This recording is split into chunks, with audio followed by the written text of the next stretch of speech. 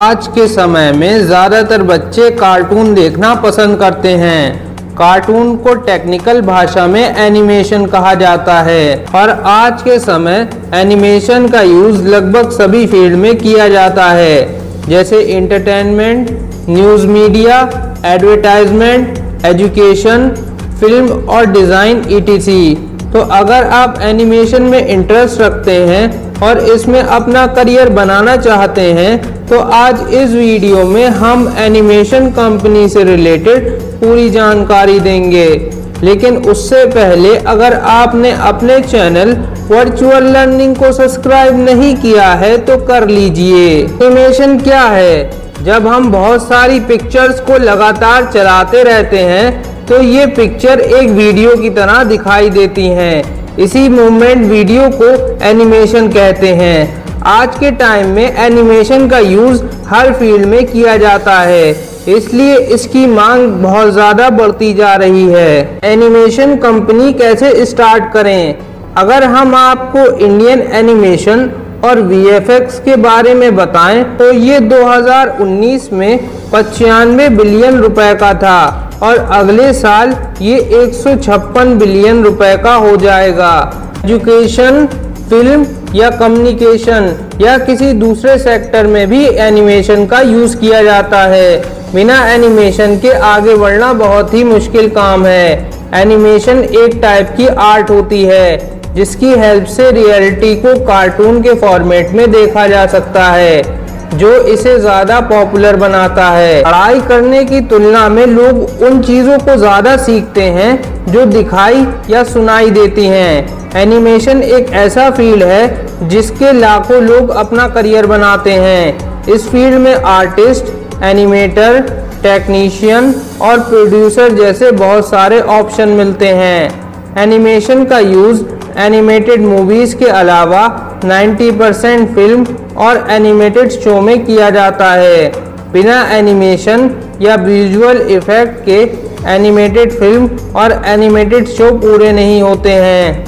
Animation में अपना खुद का बिज़नेस इस्टेब्लिश करने के क्या रूल हैं? एनिमेशन कंपनी एक बहुत बड़ा फ़ील्ड है।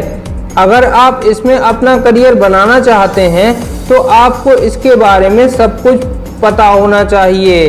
अगर आप एनिमेशन कंपनी में अपना खुद का बिज़नेस इस्टेब्लिश करना चाहते हैं तो इसके लिए आपको इन पॉइंट्स को ध्यान में रखना होगा। जैसे, नंबर वन, अपने टैलेंट को पहचानिए।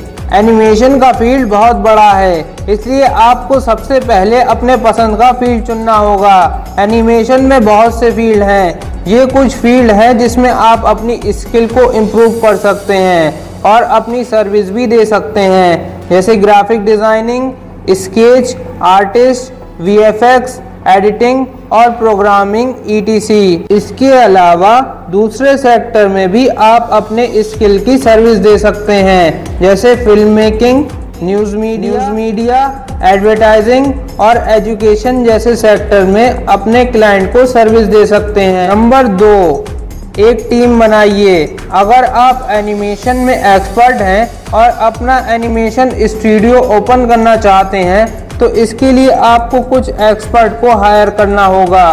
क्योंकि एनिमेशन कंपनी चलाने के लिए आपके पास अलग अलग स्किल को जानने वाले एक्सपर्ट को अपने काम से जोड़ना होगा, जिससे आप एक कंप्लीट सॉल्यूशन प्रोवाइडर बन सकें। नंबर तीन कंपनी का रजिस्ट्रेशन करवाने के लिए कंपनी का एक नाम रखें।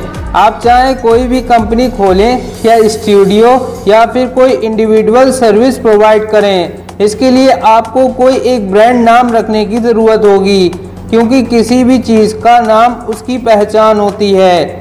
आप अपनी इमेजिनेशन के हिसाब से भी कंपनी का नाम रख सकते हैं, क्योंकि रजिस्ट्रार ऑफ़ कंपनी या आरओसी में रजिस्ट्रेशन के समय आपको पाँच से छः नाम भेजने होते हैं, क्योंकि एक ही नाम से दो कंपनियाँ रजिस्टर नहीं हो सकती हैं। नंबर चार, कंपनी शुरू करने से पहले प्लान बनाइए। आपको एक अच्छा प्लान बनाने की ज़रूरत होगी, जैसे आपकी कंपनी की स्ट्रेटजी क्या होगी, कंपनी का मेन फोकस किस पर होगा, आपकी कंपनी कौन सी चीज़ों में डील करेगी लोकेशन क्या होगी जैसी सभी बातों के बारे में आपको सोचना होगा और एक प्लान तैयार करना होगा।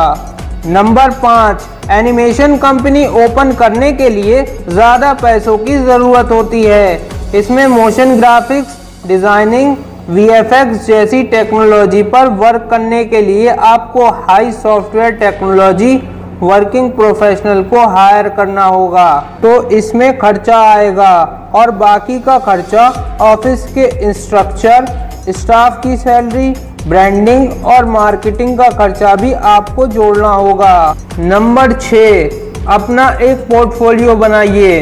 आप किस तरह के काम करने में एक्सपर्ट हैं और आपका प्रोजेक्ट क्या है? और बेस्ट क्लाइंट की डिलीवरी की हुई काम की लिस्ट को कंबाइन करके अपना एक पोर्टफोलियो तैयार करिए। उसके बाद उसे सोशल मीडिया पर पब्लिश कर दीजिए, जिससे लोग आपके काम के बारे में जानेंगे और आपको मार्केट में काम मिलने में आसानी होगी। नंबर सात कंपनी का रजिस्ट्रेशन करवाने के लिए एक लोकेशन चुने। लोगों तक पहुँचने के लिए आप अपना स्टूडियो ऐसी जगह पर खोलें जहाँ पर बजट में आप फीसफुली काम कर सकें और आपकी कंपनी के लिए एक रजिस्ट्रार ऑफ़िस एड्रेस भी देना होगा। एड्रेस ऑफ़िस एड्रेस देना इसलिए ज़रूरी है जिससे आप बता सकें कि आपकी कंपनी की लोकेशन कहाँ पर है। नंबर एट कंपनी रजिस्ट्रेशन के लिए डिजिटल सिग्नेचर सर्टिफिकेट लेना पड़ता है। आपको अपनी company, animation company, private limited के रूप में शुरू करने के लिए डिजिटल सिग्नेचर सर्टिफिकेट भी लेना पड़ता है। और काम कहाँ से कर रहे हैं और लोग आपसे कहाँ पर कम्युनिकेट करेंगे। Digital signature certificate, paper certificate के बराबर ही होता है, जो आपके कंपनी की डिजिटल प्रूफ ऑफ़ आइडेंटिटी होती है। जिससे आप ऑनलाइन या इंटरनेट पर अपनी आइडेंटिटी प्रूफ कर सकते हैं, क्योंकि फ़िज़िकल डॉक्यूमेंट को हम हाथों से सिग्नेचर कर सकते हैं, लेकिन किसी भी फ़िज़िकल डॉक्यूमेंट या ई फॉर्म पर डिजिटल सिग्नेचर लगाना पड़ता है। डिजिटल सिग्नेचर सर्टिफिकेट ये बताता है कि कंपनी के बिहाव से किया गया सिग्नेचर ओरिजिनल है। नंबर नौ, एनिमेशन कंपनी शुरू करने के लिए कौन कौन से डॉक्यूमेंट लगते हैं? आपको अपनी एनिमेशन कंपनी एक प्राइवेट लिमिटेड कंपनी के रूप में रजिस्टर करवाने के लिए पैन कार्ड और पासपोर्ट की ज़रूरत होती है। इसके अलावा ration card, Aadhaar card, voter ID या ड्राइविंग लाइसेंस इन सब में से कोई एक चीज़ आपके पास होनी चाहिए। नंबर दस एनिमेशन कंपनी शुरू करने के लिए आपको क्या करना चाहिए? एनिमेशन कंपनी खोलने के लिए आपको इसकी डीप नॉलेज लेनी होगी। अगर आपने एनिमेशन की स्टडी की है तो आप आसानी से अपनी खुद की कंपनी शुरू कर सकते हैं। इसके लिए आप डिग्री या डिप्लोमा कोर्स कर सकते हैं। डिप्लोमा में एडमिशन लेने के लिए आपको ट्वेल्थ क्लियर करना होगा और बहुत से इंस्टीट्यूट इसके लिए इंट्रेंस एग्ज़ाम भी कंडक्ट करते हैं। कुछ यूनिवर्सिटी के नाम हैं जो आपको डिग्री या डिप्लोमा कोर्स ऑफ़र करती हैं। जैसे VIT university Vellore, national institute of design Hyderabad, Arena animation और Maya academy of advance ETC in institute में आप एडमिशन लेकर एनिमेशन से रिलेटेड कोर्स कर सकते हैं। एनिमेशन कंपनी में स्टार्टिंग सैलरी कितनी होती है? आप एक एनिमेशन कंपनी में स्टार्टिंग सैलरी बारह हज़ार से लेकर बीस हज़ार रुपये तक पा सकते हैं। आपके एक्सपीरियंस और स्किल बढ़ने के साथ ही आपकी सैलरी भी बढ़ेगी। किसी कंपनी में एनिमेटर बनकर या फ्रीलांसिंग करके भी आप अपना एक्सपीरियंस और स्किल बढ़ा सकते हैं। तो दोस्तों, आपको ये वीडियो कैसी लगी? हमें कमेंट करके ज़रूर बताएँ। हम मिलेंगे आपसे अगली